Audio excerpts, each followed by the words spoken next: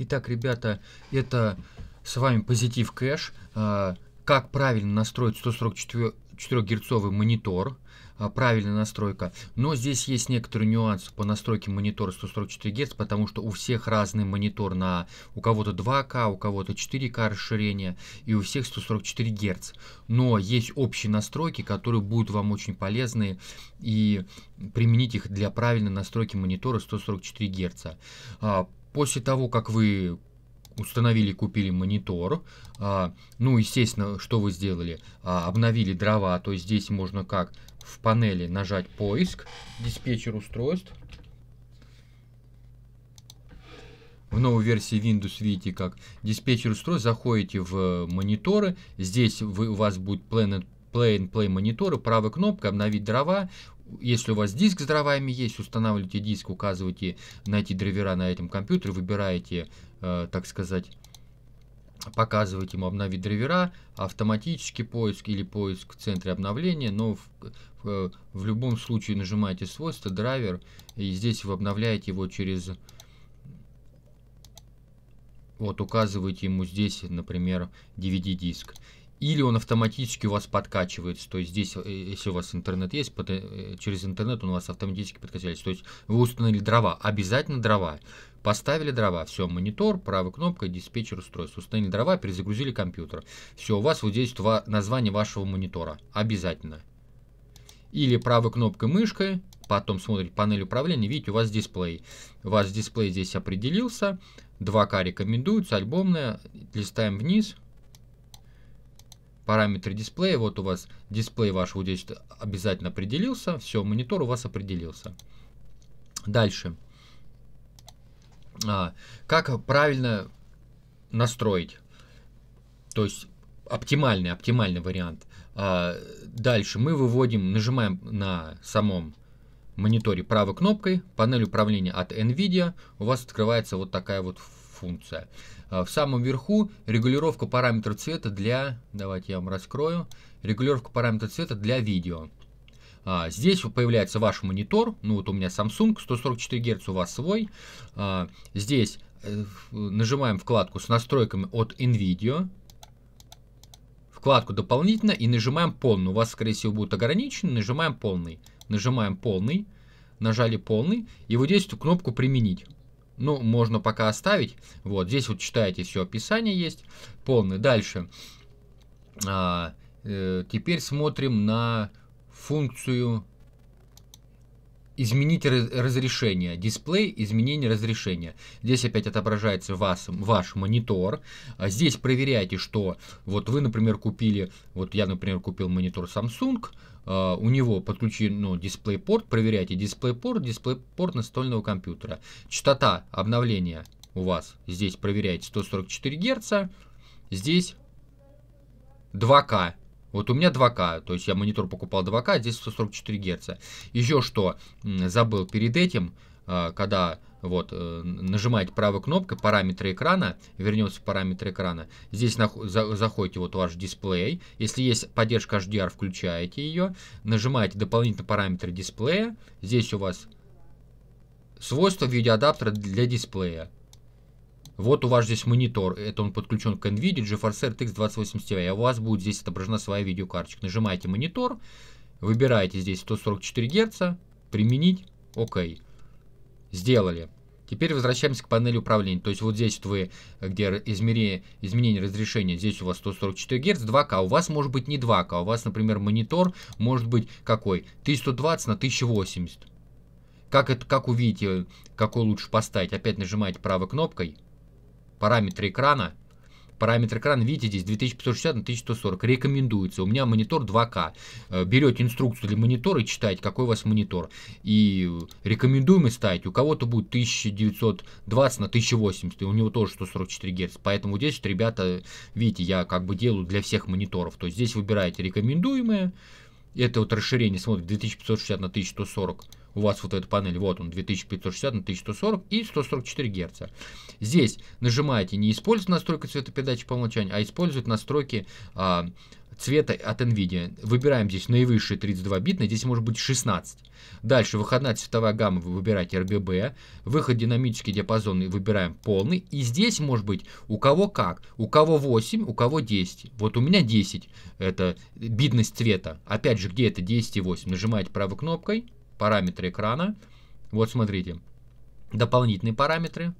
Вот видите, разрядность 10 бит у вас уже будет при 144 Гц, когда вы включите, у кого-то будет 8, у кого-то 10. Если у меня монитор 10 бит, опять же можно почитать это где. В, где вы покупали, например, в DNS, Ситилинке, неважно, вот вы где-то покупали, там написано разрядность. То есть, если у вас разрядность 10 бит при 144 Гц, у вас 10. Если у вас разрядность 8 бит при 144 Гц, у вас будет 8 бит.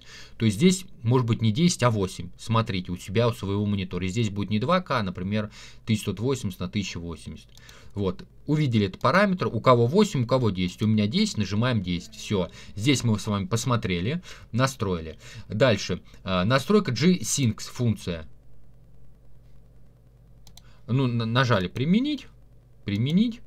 А, а, функция настройки функции JSync, у меня есть отдельный урок в, в обучающих уроках по YouTube, обучающие уроки называется у меня плейлист. Можете посмотреть, как подключать функцию JSync к монитору, э, у которого есть функция FreeSyncs.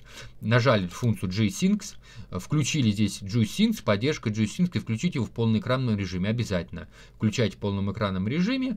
А, дальше переходим в функцию управления параметрами 3D. У вас появляются глобальные параметры. Здесь у вас появляется технология монитора, поддержка G-Sync. Включаем. Вот здесь внизу вправо у вас будет применить. А, дальше, что еще здесь? Здесь смотрите.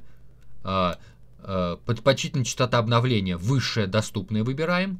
И режим низкой задержки, ну, в зависимости от э, вашего монитора, можно, можно выключить, можно включить, можно ультра. Ну, вот я включил я включил, поиграйте с этим параметром, можете отключить, можете включить ультра, как у вас будет вести сам монитор, потому что эта функция повлияет на э, следующий параметр.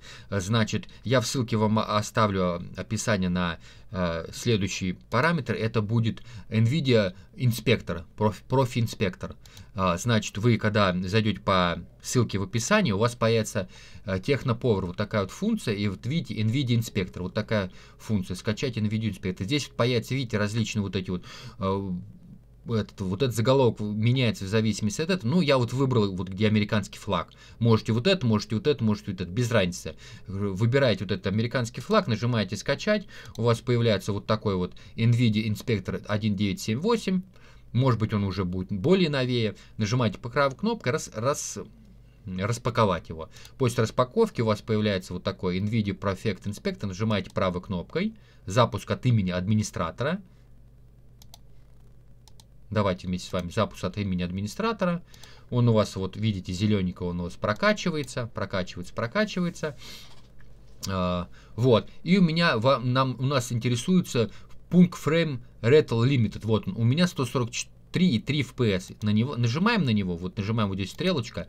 А почему выбран этот пункт? Вот здесь вот нету цельного, так сказать, 144 Гц, 143. Если у вас функция, функция вот эта, где у вас в панели настройки управлением э, дисплея, вот здесь вот управление, вот этот режим низкой задержки включен, ниж, режим низ, низкой задержки включен, то я вам рекомендую вот в этой функции поставить 144 Гц.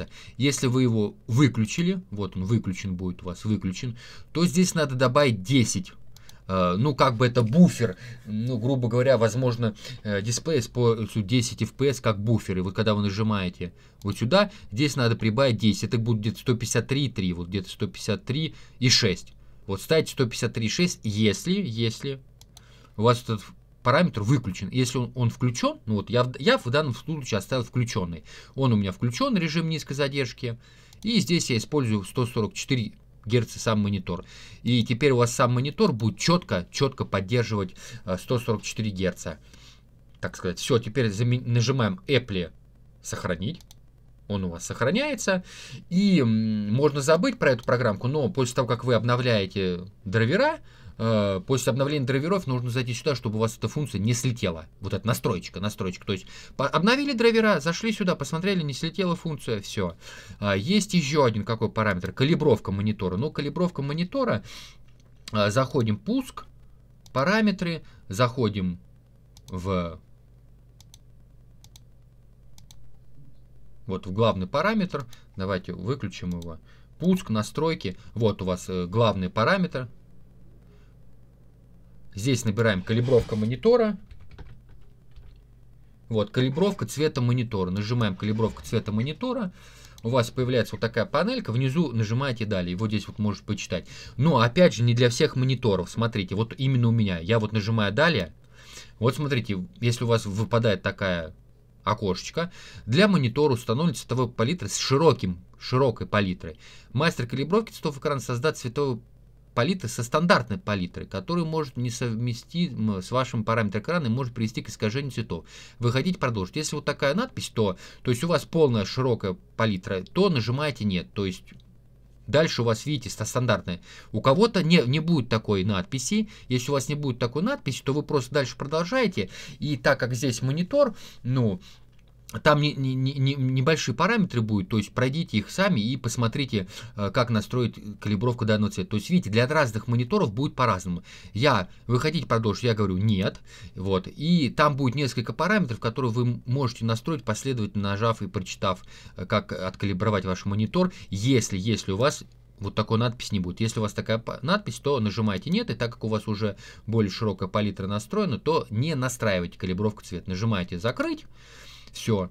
Э, вот такие способы э, калибровки изображения и настройки 144 герцового монитора я вам показал. Здесь, э, кстати, вот здесь можно, можно еще по поиграть с этими параметрами, вот здесь в настройках, вот управление параметрами 3D. То есть, в зависимости от вашего монитора, может быть у вас одна или другая функция будет это. Ну, вот это самая оптимальная настройка для всех, всех мониторов 144 Гц. То есть самая оптимальная настройка, 100, как настроить монитор на 144 Гц. Вот здесь вы, естественно, в зависимости от функции сами подбираете. Можете включить, можете отключить. Ну и здесь внизу можно почитать, что эта функция позволяет устанавливать предпочтительный для уровня производительности видеооплаты режим во время работы приложения 3D. А, ставьте лайки, подписывайтесь на мой канал, если было вам полезно это видео. Э, как настроить монитор 144 Гц. Если вы купили монитор, используйте данные настройки, такие общие для всех мониторов, которые есть 144 Гц. Э, спасибо, оставайтесь с нами, будьте здоровы.